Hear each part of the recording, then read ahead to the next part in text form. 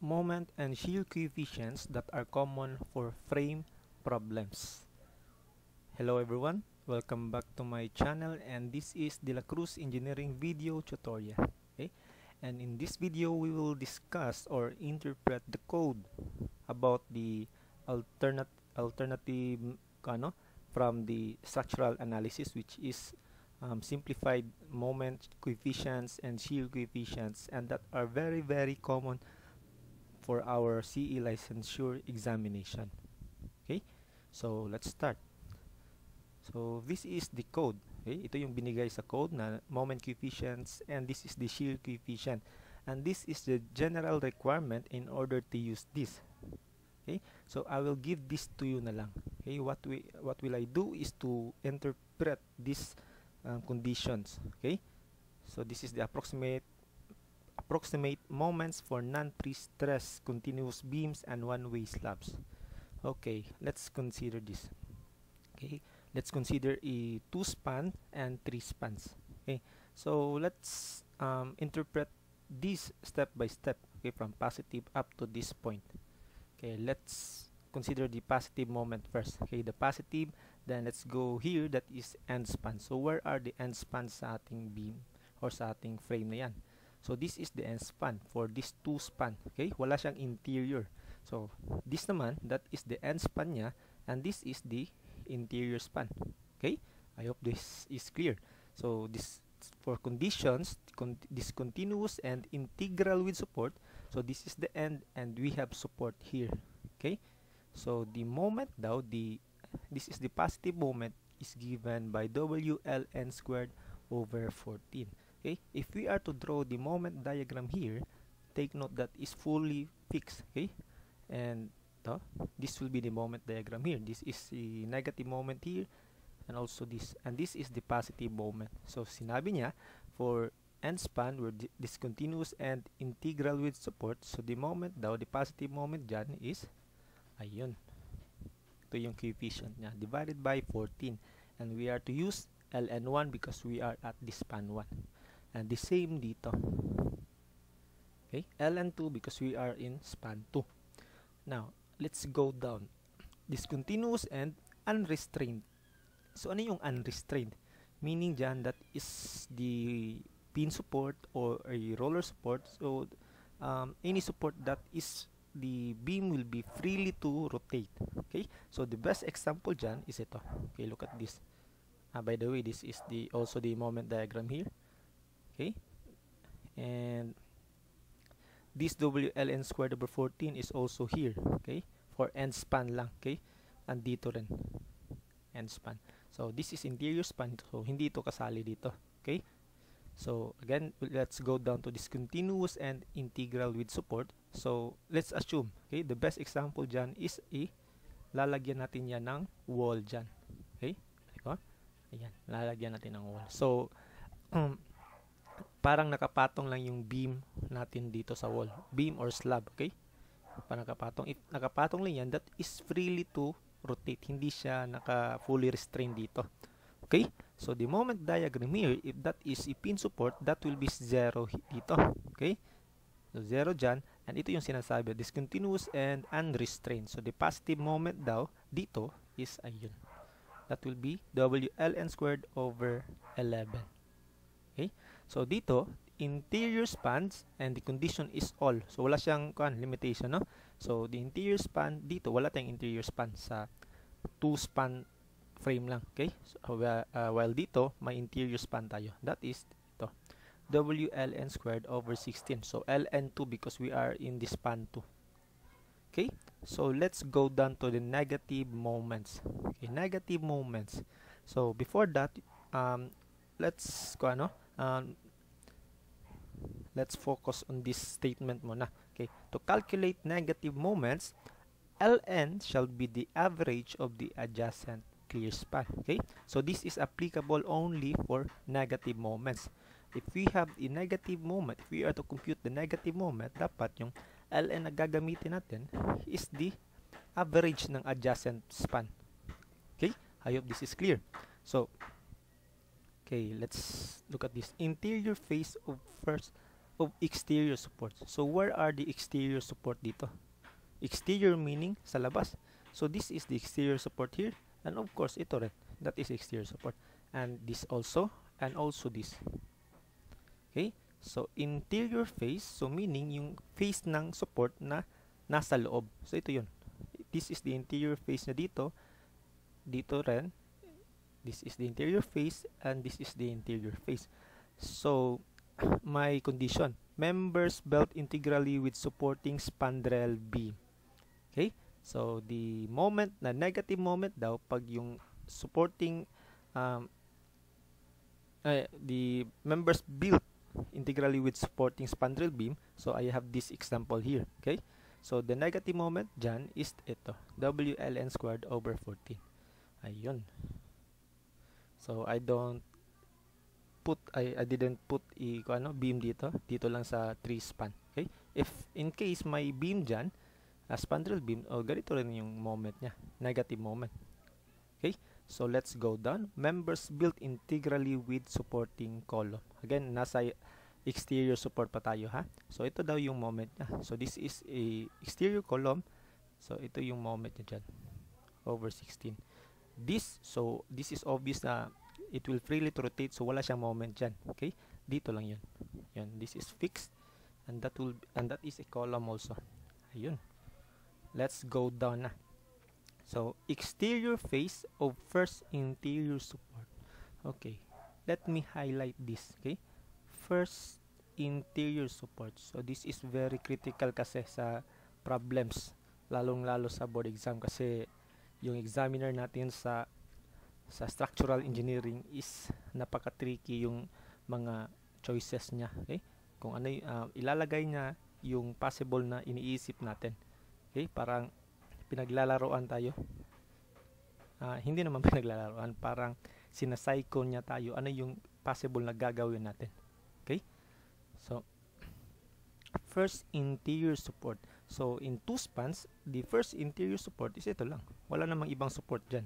Okay?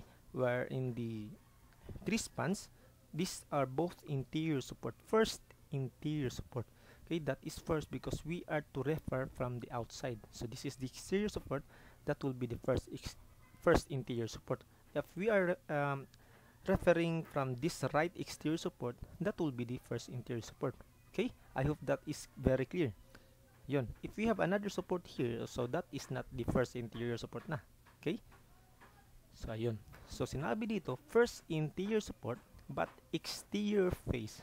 Okay. So, if this is the first interior support, ano yung exterior face niya? So, the face that that is facing outside. So, this is the face that is facing outside, papunta doon. And also, in this, if we are to look at the right side, dit, ito rin, that is a, um, ano yan? That is the exterior face rin, facing outside. So, in two spans, the face of the columns of the first interior support is exterior lahat yan. Okay, exterior yung faces niya. While in this case, the exterior face is ito lang dito. Okay, papun looking to the outside. Well, dito naman, this is the exterior face look, looking to the outside rin. So, sa kabilang banda ng muka ng column, that is the interior face. Okay? Therefore, the exterior face for two spans, ito. The negative moment is ito daw. Ayun. In this case, WLN, that will be the average LN. Okay? So, by the way, the LN dito is the clear span, ha? From face to face of the support. Okay? So, average of the adjacent span. So, the average of LN1 and LN2 yung gagamitin dito. Okay?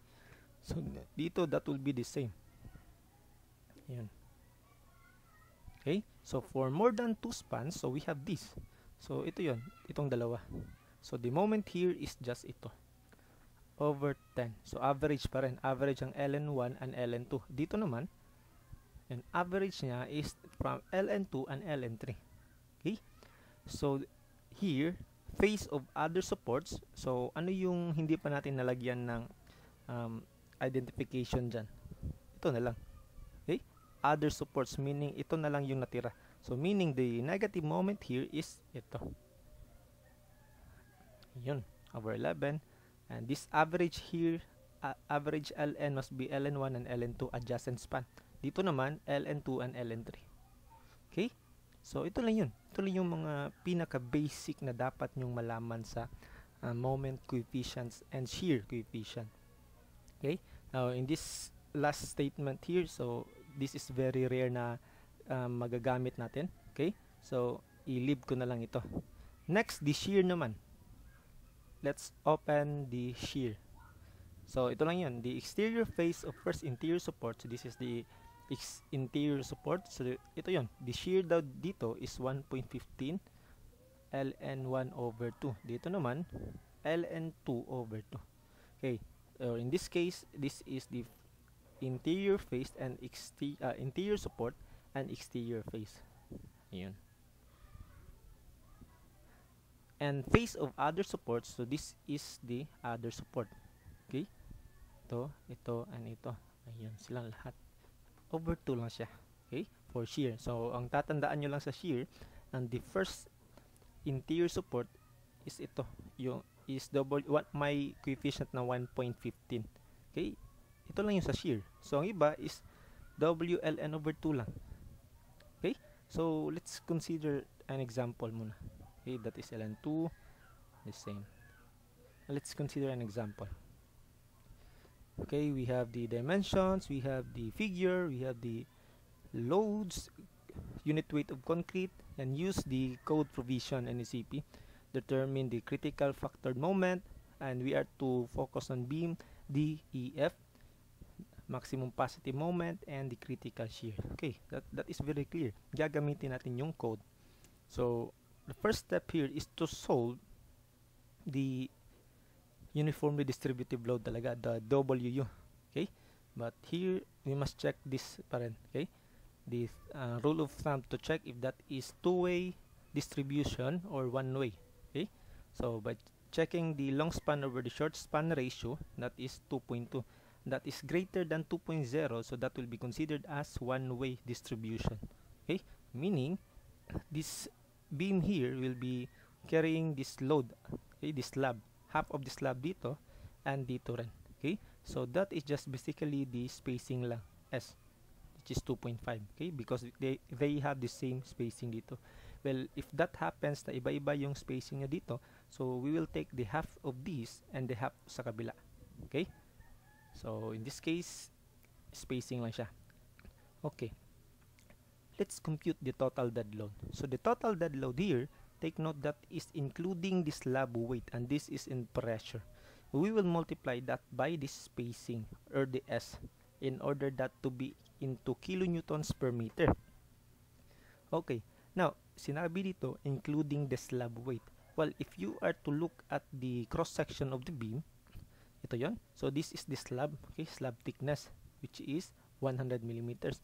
So ang 4.8 dyan is ito lang. Hindi included itong nasa baba. So, we have to account this um, weight niya dito. Okay? So, the total dead load is just 4.8 times spacing plus the gamma of concrete, 24, times this area. Okay? The B that is 0.3 and ito is H minus T. Okay? Where H is 400 minus 100 millimeters. So, in terms of meters tayo. And that is 14.16 kilonewtons per meter. The live load naman is just the live load times the spacing niya. Okay, that is 7.25 kilonewtons per meter. Okay, so we will compute the factored load with this combination. Ayun, substitute lang the dead load and the live load here. And ito yung gagamitin nating WU. So that is the first step talaga if hindi binigay yung W in terms of load pressure pa. Okay? So next step is to compute na using the code. Okay? Uh, what we will do here is direction na natin. 'Di ba? Pinakita na natin yung interpretation. So if you are to uh, this is the exterior support, this is the first interior support IS and ito yung load, okay? And ito yung um, in-interpret natin kanina. Two spans lang and all are column support from here. Okay? And computing the ln so ln1 take note this length here is center to center spacing okay we have to minus the column di ba from face to face of the column this is the face here and dito rin so the ln dito ln1 is just 5.5 minus the half of the column dito and half din dito sa kabila or minus column dimension is 0.4 so 5.5 minus 0.4 lang. Okay? And that will be the same sa kabila. Okay? The same length man lang sila. Okay? So number one determine the critical factored moment of beam DEF so as you see ano yung critical dito? From the moment diagram. Of course ito divided by the 9 mas malaki ito compared sa kanila. Okay? So, hindi niya sinabing negative moment but if we are to um, interpret this critical, dapat yung maximum absolute value. Okay? So, for number 1, part 1, that is the WLN average dapat over 9.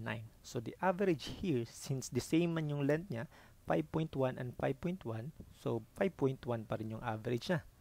Okay? If this happens na iba yung length niya dito, dapat um, i-average yung dalawa.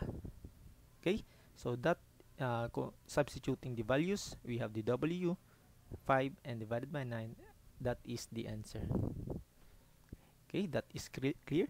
For number 2, determine the maximum positive moment. So this is kung ano, specific na positive moment. So in this case, klarong-klaro ito. The same sila ng value. And that is yun. Substitute lang. ln1 nga or ln2. Pwede rin. The same length man lang. Or in this case, if we have a larger length dito, so gagamitin natin yung larger length. Kasi mas malaki yung makukuha. Okay? Ayun, that is the answer. For number 3, determine the critical shear of the beam DEF. Critical shear. Critical meaning maximum. Okay? So in this case, this is the maximum. 1.15 W ln over 2. Okay, this uh, we don't have a coefficient of 1.15 dito. So ito yung mas malaki. So computing that, substitute lang. Okay. So ln1 or ln2 dito, okay? In that is the answer. So if that happens pa rin na may, may mas malaking length diyan, either of the two, yung mas malaki yung gagamitin mo dito in order for that to be critical or maximum. Okay? So that's it. I hope this is very clear. So in this is a fundamental sa kuan talaga no, yung sa CE itong mga problems na ito because ito talaga yung bumabalik-balik sa licensure exam natin kahit tingnan nyo pa sa mga reference book. Okay? So I hope this is very very clear and if you haven't subscribed yet to my channel please do subscribe support me and um, like and share this video to your friends and God bless everyone and thank you